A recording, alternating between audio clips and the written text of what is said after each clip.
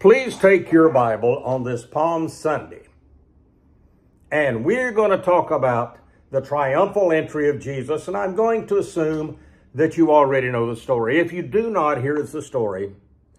Jesus tells his disciples to go into a neighboring village as they are making their way toward entrance to Jerusalem. It is to become what we call the triumphal entry. And Jesus says, You'll find the colt of an ass tied up there. And if anybody says, What are you doing? You just simply say, The master hath need of this donkey, and take it. And then when he rides into Jerusalem, the people greet him with great exuberation, exultation, saying, Hosanna, Hosanna, Hosanna, and waving palm leaves as he enters the city.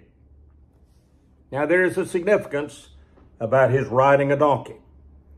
If you look sometime at Exodus chapter 13, verse 13, which is a part of the Mosaic Law, there was to be the taking of the life of the firstborn of your animals.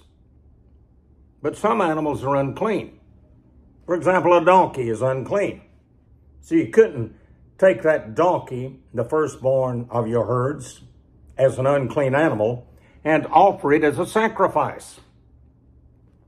So according to Exodus chapter 13, if you wanted to keep the animal, the donkey, then you would have to sacrifice a lamb and the donkey's life would be spared. Otherwise, you were to break the neck of the donkey and kill it. So here we have a donkey. The donkey obviously is a worthless animal. It's the firstborn, or those men would not have been so willing to let it go. It could not be used. It should be killed. Here are some strangers that come to town and say, we'll take it off of your hands, and they're glad for that to happen, instead of sacrificing a lamb. But it's significant because that donkey represents all of us. Because all of us, like that donkey, deserve to die an eternal death.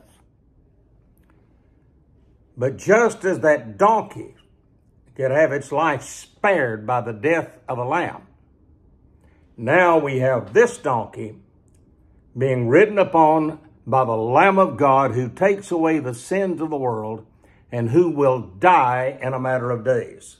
So his life is spared by the eternal Lamb, just as that ancient donkey had his life spared by a lamb. It's very interesting. It's also interesting to note that in Zechariah chapter 9, verses 9 and 10, that King David rode into Jerusalem on a donkey in his, quote unquote, triumphal entry as king. So Jesus comes in to the applause of the great crowds that are along the roadway as he enters Jerusalem. They're so happy. Here's the king. They're excited. They're wanting to embrace him, to clap their hands, to wave their palm leaves. Everything would have been wonderful if the story had stopped right there. Everything would have been wonderful. But the story proceeds because they leave the wonder of Jesus and the glory and the happiness of Jesus. At least Matthew does. And notice what happens. In Matthew chapter 21, in verse 11, at the conclusion of this triumphal entry, the multitude said, This is Jesus, the prophet of Nazareth of Galilee. Verse 12, immediately, the very next verse. And Jesus went into the temple of God and cast out all them that sold and bought in the temple, and overthrew the tables of the money changers, and the seats of them that sold doves, and said unto them, It is written, My house shall be called the house of prayer, but you have made it a den of thieves. Now look at this side of Jesus.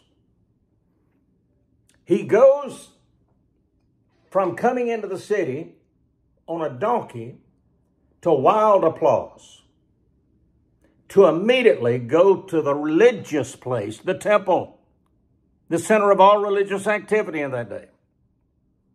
And he looks at all of these religious people and says, You're not right with God at all. You need to repent. You need to turn to God. What you're doing is wrong. You're making the house of God into a den of thieves. Jesus went and preached a message of repentance, of sin and judgment to the religious crowd. He had also done it to his race. You'll notice in John chapter 1, he speaks to the Jews, to the nation of Israel.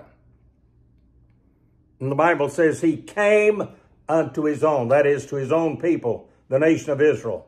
He came to his own, and his own received him not. Now listen to me. Every one of you listen to me. It's one thing to be a participant in the triumphal entry and to praise the Lord Jesus Christ on Palm Sunday. It's fitting that you do that.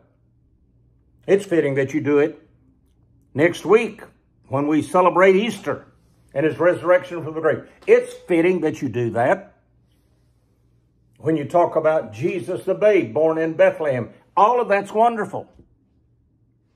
It's wonderful that you have all of these wonderful services every Sunday in a church service somewhere. All of that is wonderful. But I have a question for you. If you were to go hear Jesus preach, do you think that you would hear a sermon from the lips of the Lord Jesus Christ that everybody would enjoy.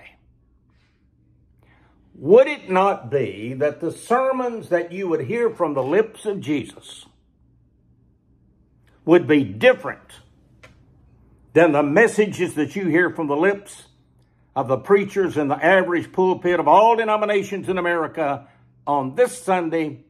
Their sermons will not be nearly as to the point stern and judgmental as those of the Lord Jesus Christ. Why? Because just as Jesus enjoyed temporary popularity, the preacher who preaches the truth and hammers it home from the Word of God, for a while he will be popular. But eventually, his enemies and he will have enemies in his city and maybe even in his church, will do everything that they can to destroy him and his ministry. Jesus was popular riding the donkey into the city. He was not popular with the religious people at the temple. He was not popular with the Jewish leadership when he said he came into his own and his own received him not. Let me just ask you this question. I want you to think about it a minute somewhere in the neighborhood of 3,000 people were tragically killed 9-11. Remember that? Tragically. Some 3,000 were killed. Now, we are told, we are told, and I think incorrectly, we are told to tone it down on preaching about judgmentalism, tone it down talking about death, and the wages of sin being death. Tone it down that there is only one way to heaven, and that's by the blood of the Lord Jesus Christ. You just need to tone that down. Just tone it down. What we need to do, they say, is to look people with a very non-offensive question and ask them, wouldn't you like to have an abundant life? Jesus wants to give you an abundant life. Wouldn't you like to come to Christ and have an abundant life. Now, all of that's true. It is true. But let's go back to those people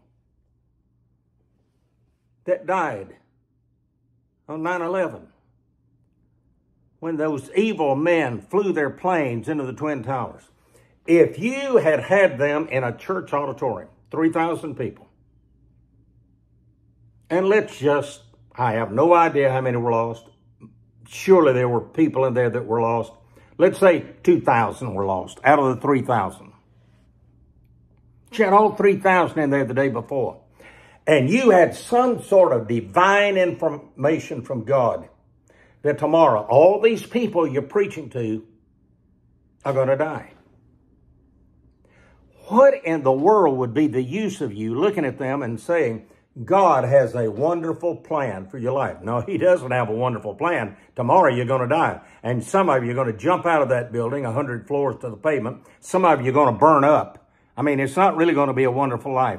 Is that what you're going to tell them? Come on, come on. You had them there in front of you. What would you tell them? I'll tell you what you'd say. Folks, we're coming to the end of our lives, even if we live another 40 or 50 years. Are you ready to meet the Lord? Ultimately, whether it's today or tomorrow, next week, next month, next year, or a decade from now, you are going to die unless Jesus comes. You're either going to go to heaven or hell. And let me tell you about hell. Let me tell you about the horror of dying without Christ. That's what you'd tell them. And that's what Jesus did. And the people didn't like it. Hey, folks, that's true all the way through the Bible. The prophets were popular as long as they did prophecies that the king and the people wanted to hear. The moment they issued a prophecy that wasn't pleasant to the ears, they had to be destroyed. Starting in the Garden of Eden with Abel. There was Cain with all these beautiful fruits and vegetables. And Abel, this bloody offering. He had to be killed. He had to be killed. Noah was disregarded. The people hated him. Go through the Bible, all the way through the Bible.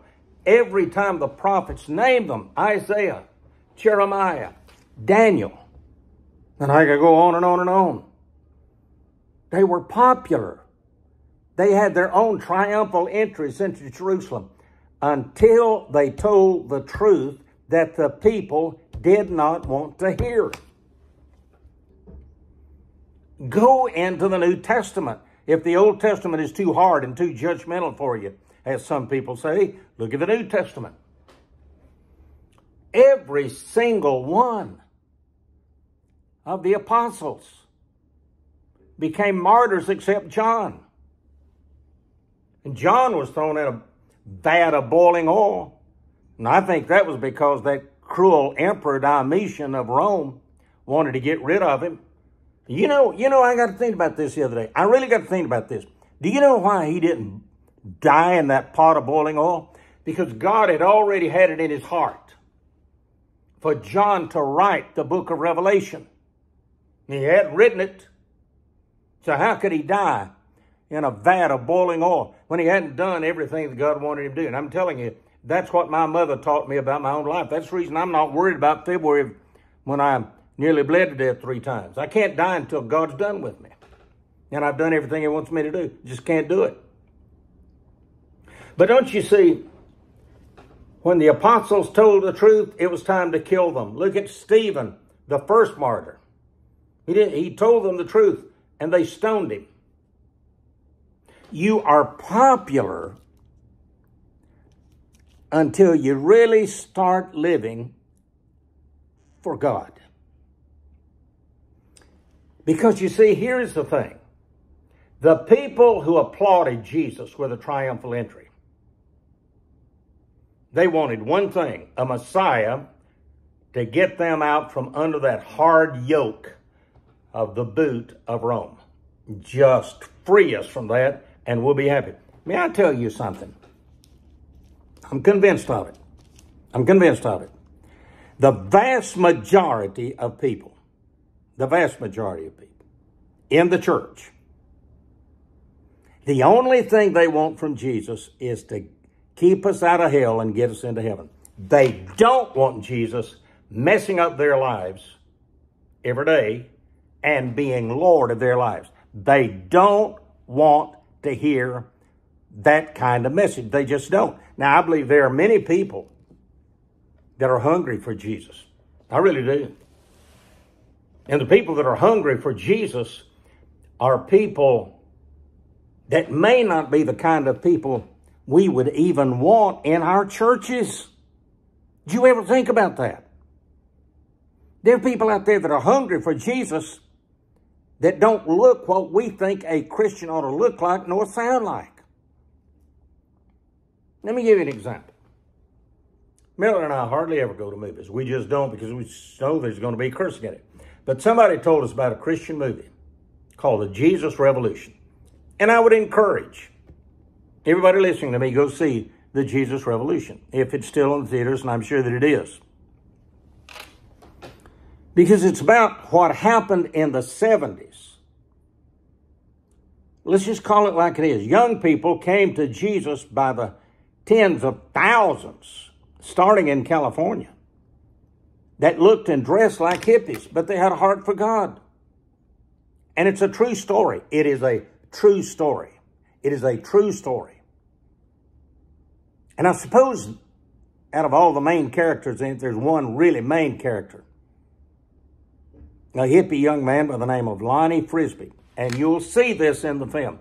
He really has a heart for God. He has a hunger for God. And I'm not going to say what kind of sin he got into, but he got into a lot of sin even after he was saved, after he was born again. And he got away from God. But thank God before he died, he came back to God. But God used him mightily.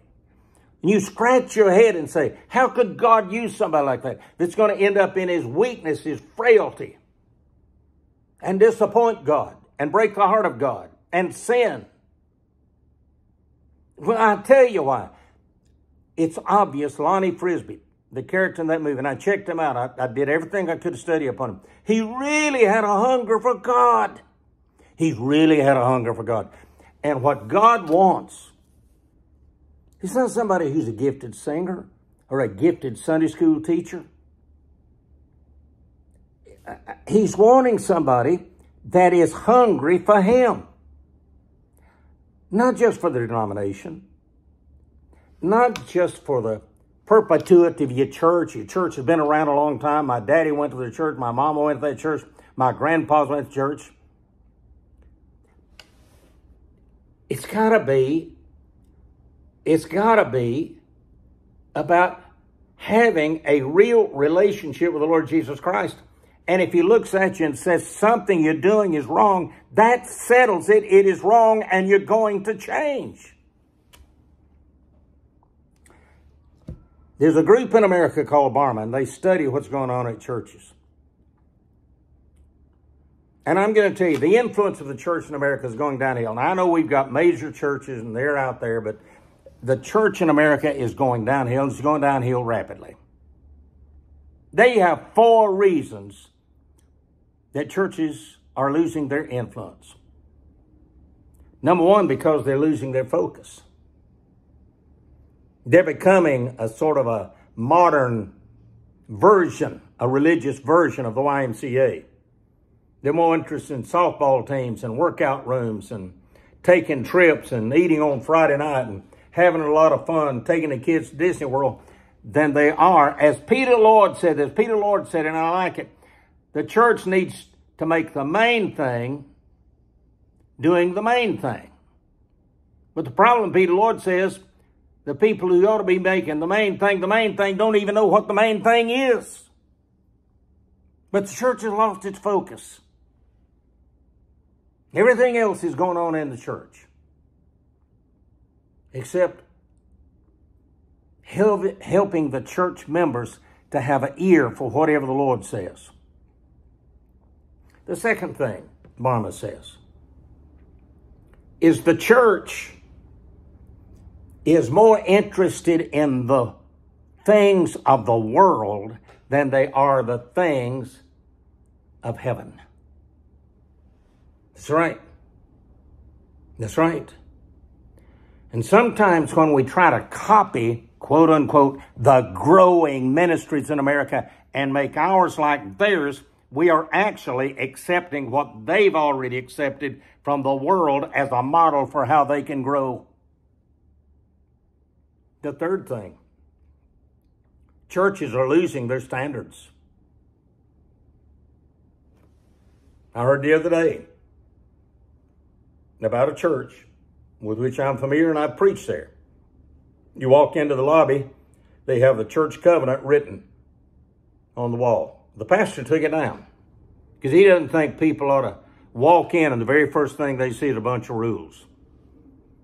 Well, I'm sorry, there are standards that ought to make a Christian person who's living for God different from the world. This is all right. You get out here and drink all you want at ball games or at the bars, just as long as you don't get drunk. That's what they say. It's all right to watch the R-rated movies. It's all right to dress like a prostitute. It's all right to use a little bad language. A church that I know about fired all the staff members, big church. Do you know why? And one of the staff members was very upset. Because the church that had elders in it as leadership went, collected the staff members' cell telephones, found out they had dirty jokes and cuss words on it, and fired the staff, which is what they ought to have done. But this staff member said, wait a minute. Brother Harold, you know how men talk when it's just men. Sure, we told some dirty stories and, and we used some cuss words. And I'm talking about a church that's recognized as a great church.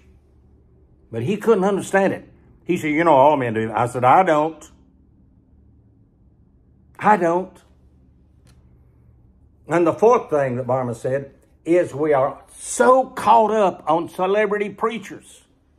My preacher can preach better than yours, and mine's better in the pulpit, and we've gotten caught up on that. You know the recent Asbury University revival? Celebrity preachers started going to it, wanting to offer their ministries, and were offended when those students at Asbury looked at them and said, I'm sorry, we're not going to use your ministry. All we need to hear from is Jesus. Well, I say amen to that. But it's been that way in America. During the colonist period of the 1700s, the church was seeing a decline in attendance.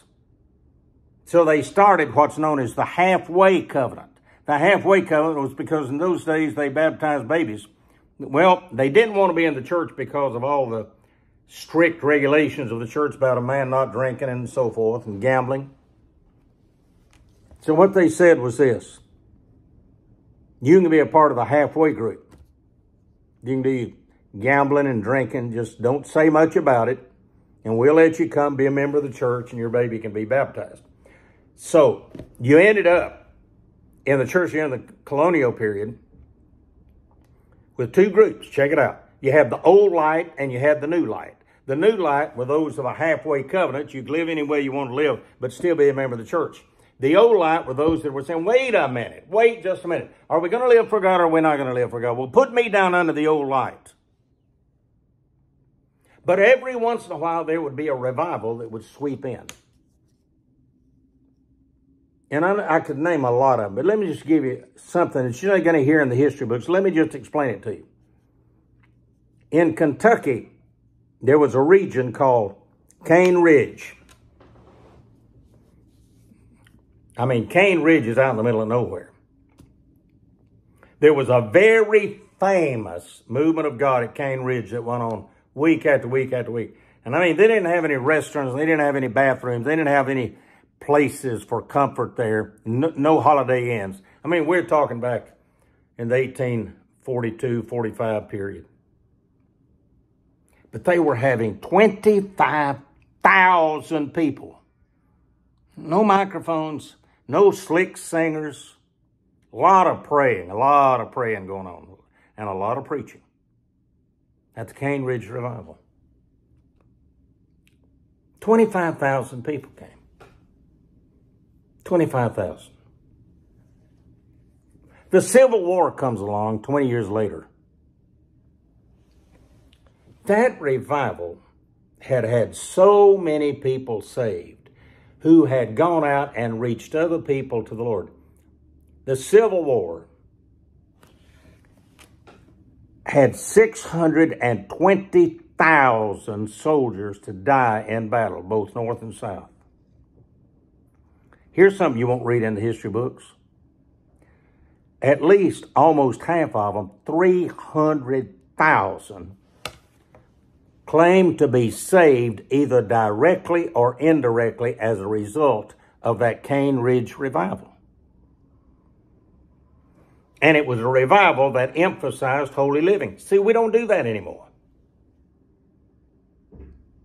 And, and just as the people turned on Jesus, oh, Jesus, if you'll just come and be our king, that's what, but we don't want you, we don't want you telling us how to live. We just want you to the Messiah and get rid of Rome. Most church members nowadays, in all denominations, they want just enough religion, just enough Jesus to get them into heaven and to keep them out of hell. They don't want Jesus in their lives every day. They just simply don't. And I want to say something to you. You know, one of the ways that you can tell that somebody means business, either as a politician or a preacher, an industrialist, or whatever it is, it's because they're going to try to wipe him out, destroy him. Get rid of him. That's what they want to do with Jesus. A few days after applauding him, they kill him. We can't put up with somebody telling us how to live. You don't think it happens nowadays? Look at Martin Luther King. And I'm going to tell you this, if you think he was a great speaker, you ought to heard some of his sermons. I've had a chance, to, he was a great preacher. And what he said made sense. But they got rid of him. They killed him. They killed him. I mean, listen. You can tell, you can tell whether a man is going to make a difference or a woman's going to make a difference by whether they continue to be popular or whether they are subject to this kind of talk.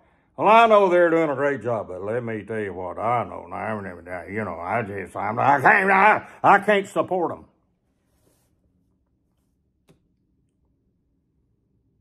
You know, I learned that early on. I went into the ministry when I was 17 years old. The very first church I went into, I had a major problem as a 17 year old.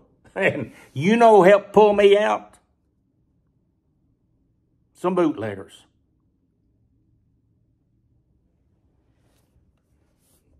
They told a particular deacon, we love that young preacher. He comes to the grocery store and drinks RC colas and eat moon pies with us on Saturday afternoon. No preacher's ever done that. We don't want him run off. And I didn't get run off. So we've been praying for Jerry Robinson. Jerry would tell you this if he was here. He loved to drink. He loved to gamble. I've heard him talk about gambling is one of the big businessmen in McMinnville, Tennessee. And they gamble 24, 48, 72 hours. And he said, I, I can remember taking $100 bills, raking them off the table with my bare feet holding them to the floor. And then he came to the Lord. Well, how did he come to the Lord? His wife came, I won't go into it, and had me to come, and he'd run many preachers off, and he looked at me as a lost man, lost businessman. He said, I love to sell beer, make a lot of money at it, and I love to drink it. If I get saved, can I keep drinking and selling it? I said, listen, if you get saved and it's all right with God, it's all right with me. He said, that's a good deal. So he came down the aisle the following Sunday. No, Monday was was um, was selling beer again. Boy, my deacons rake me over the. Can I tell you something? When God brings a real honest revival into a church or a community, it's going to be messy. You're going to have these hippie people like Lonnie Frisbee out there in California. It's not going to be a neat little packaged revival meeting like the Southern Baptist Convention in some back room had some seminary kooks put together. when the Holy Ghost gets involved, it's going to be messy. Well, it was messy. Till on Friday, he came to my office and said, if I hadn't gotten saved last Sunday, I'd cuss you out. You know that if I got saved, you knew that, that I couldn't ever drink or sell it again. And Jerry began to bring people to the Lord. And the deacons got angry over it. I mean, they got angry. Who is this guy? Jerry decided he wanted Marilyn and I to go to Israel. She started taking up money. He even went to the boot lady bootlegger in that town by the name of Pokey Bottoms. Can you imagine that? And she said, Whatever's in the jug over there that I took in today, you can have it. And the deacons came down to his store and said, You, you got to let us have the money. He said, I'm going to let you have that money. Well, that's our pastor. He said, Well, he's that pastor, but he's my friend. He's the one that led me to the Lord. I'm the one taking up the money. I'll take care of it. See, when God does a work, it's not always going to be neat. It may get messy. It may get messy. I remember at the First Baptist Church of Etowah, which not had a conservative preacher maybe in 40 or 50 years until they called me. That's a whole different story. And I went there. And we put in a prayer room that you could go to and pray and seek the face of God. And God began to work. And on one Sunday morning, about two months after I was there, we had 27 saved, adults saved, and 14 rededications and 10 or 11 joined the church that day. And one deacon looked at another out in the lobby. I found out later and said, This has got to be of the devil. We've never had anything like this happen here. It got messy. It really got messy. See, you'll have people that say, we want to have a revival, but boy, when a revival comes, they're not sure they want to have it. And yet some of the greatest, most godly people that ever lived that I ever met anywhere were at First Baptist Church of Etowah. And at, and at Northside Baptist Church in McMinnville where I met Jerry Robinson. Because you know what? You know what I've discovered? There are more people in the church that really do hunger for God. They just don't know how to get that hunger satisfied than there are the naysayers and the skeptics. Uh, let me just give you an example. The last church, North Jacksonville, it's located on Pearl Street. and um, there was no parking. I mean, no parking. We were having three services on a Sunday morning. Building would seat about 1,200. And cars lined up three and four and five blocks. And people were afraid, especially for a night service, to park out there. So we had a problem. We tried buying houses, couldn't do that. We tried to build a parking garage. City wouldn't give us zoning on it. So we talked and talked and talked. And finally, it looks like, well, we're going to have to relocate. And so one of our members, car dealer there, a man by the name of Joe Behrman, said, I found a spot I think I think we ought to consider moving. It's the place where North Jacksonville located. I went out there and I got on my knees and prayed about it. Went to the man that owned the property and he said, I'm really not interested in selling it, but I tell you, if you'll, um, if you give me $50,000 earnest money, which means you've got to come up with the other amount of money, which would be $1.1 million if you come up with it, it's yours. If you don't come up with it in 60 days, the $50,000 is mine. So I talked to the treasurer, and the treasurer said, well, we got $50,000, and we did, and we wrote a check for $50,000 earnest money. So then we go to the church, and, and you say, well, why did you do that before you went to church? Because the owner was getting ready to sell that land. I didn't have time to call a church meeting unless I gave him the $50,000. And I believed it enough, and the treasurer of the church believed it enough that we gave him the 50000 because we didn't want somebody else to get it. So we called a church meeting. I, there must have been eight or 900 people there on a Wednesday night. We were moving along about going to have a ballot vote.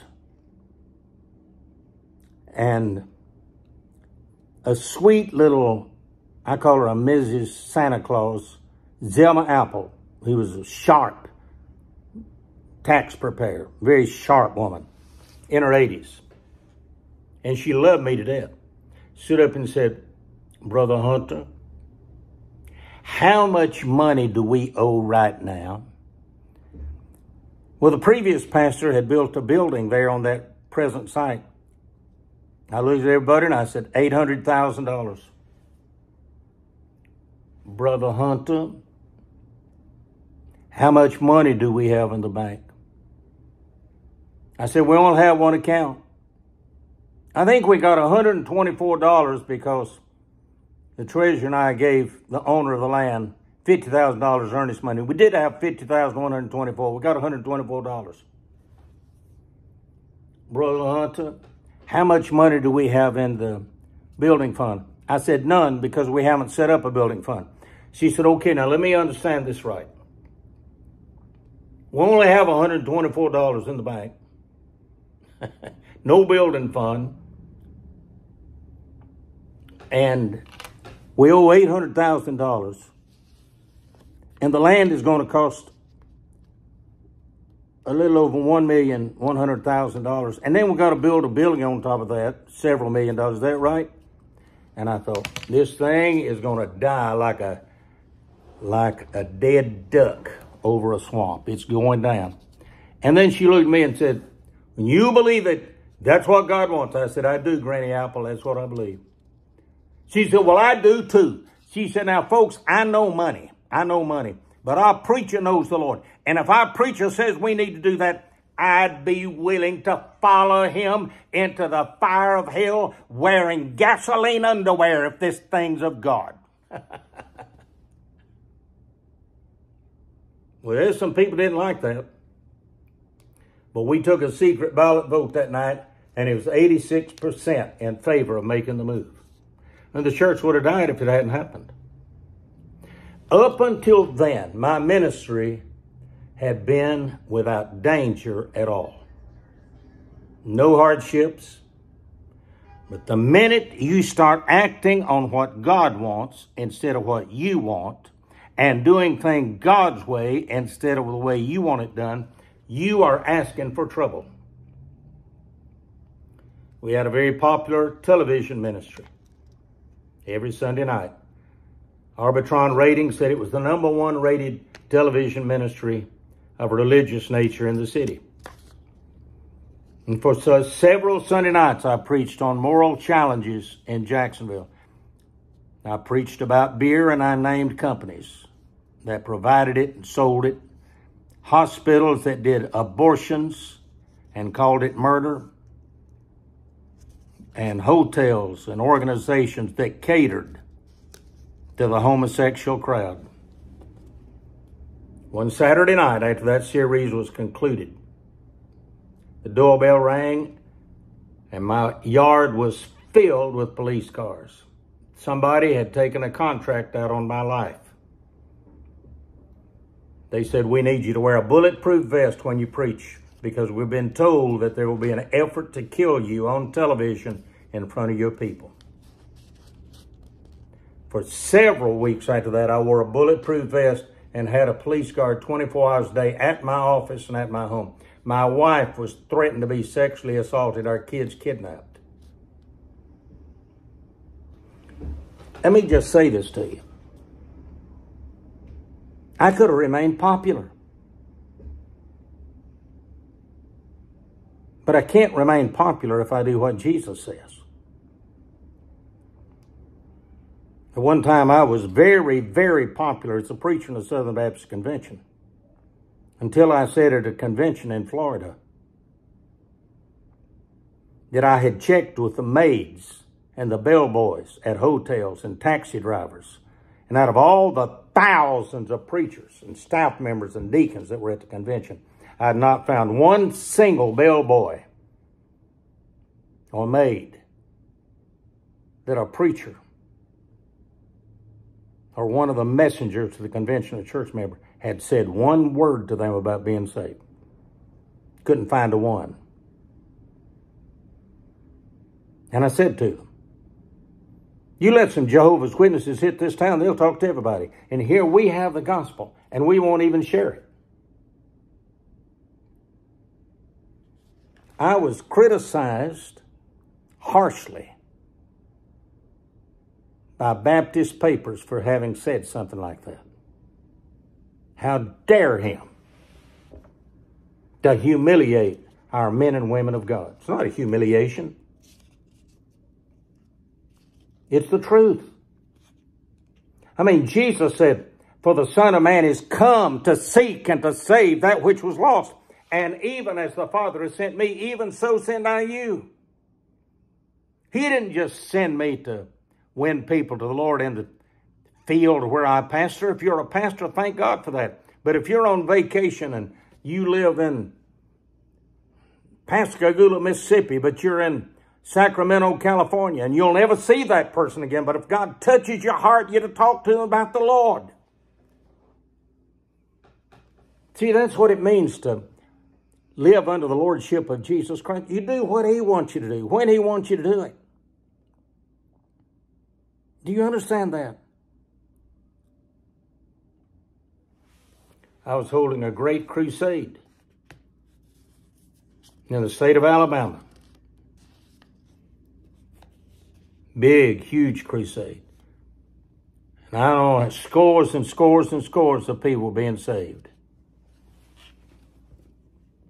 And one of the pastors who had underestimated the power of God, not the persuasive of Harold Hunter, Harold Hunter, but the power of God, didn't like what he saw going on.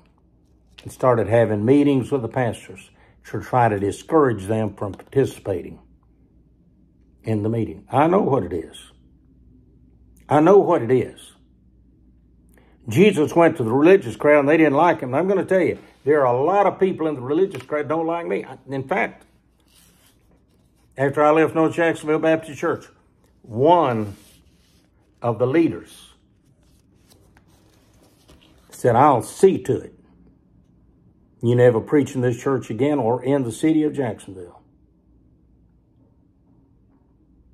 Well, I've never preached there, but I do preach in Jacksonville. After all, that's where Son Baptist is located. Isn't it a shame that when you decide to live for God, you have to know the devil's going to try to destroy you. Now, you're not a preacher, you're a layman. Your triumphal entry was when you were saved. And everybody in the church was glad that you were saved. And they came by and they welcomed you and patted you on the back and hugged you. That was your triumphal entry. But it doesn't stop there. Just like Jesus went to temple and challenge those religious people. If you're going to live for God, even as a layman, you're going to have to challenge some of your friends. Some of the people you go to church with. Some of the people that at one time applauded you when you were saved. And you're going to lose them as friends. You're going to have to challenge this world. We've got a cancel culture. You know what that is. If you're not exactly what a group wants you to be, they're going to do everything they can to cancel you. And you'll lose your influence. Nobody's going to like you. They're going to ostracize you. You won't be a part of them anymore. May I tell you? I've learned something. The day I wake up and I think life is good, life is wonderful. Can't think of any problems I've got. That's the day I'll know I've backslidden. If I'm living for Jesus just like he fought the devil and fought opposition every day of his ministry, I ought to be doing that too. I've told you the story before, but you need to hear it again. John Wesley, a strong preacher of righteousness and judgment, was riding along on horseback one day and he was grieving because nobody had criticized him. Absolutely nobody had criticized him for two weeks. And he was feeling as though he had failed to God. About that time, a man stepped out from behind a tree with a big rock. This man, he found out later his wife had been saved in a Wesley meeting, and this man didn't like it. So he took that rock and threw it as hard as he could and knocked Wesley off his horse. When Wesley picked himself up and dusted himself off, he yelled with glee, Hallelujah, I'm back in fellowship with God. Jesus made that triumphal entry. Everybody loved him until he began to interfere with the way they ran their lives. What about you? Are you going to do what he says? Are you going to joyfully serve him? And more than that, when you're criticized about your love of the Lord Jesus Christ and your determination to serve him and have standards for your life that are holy and godly, are you going to cave into the world or continue to live for him? I hope you'll live for him. Heavenly Father, thank you for this day. In Jesus' name, amen.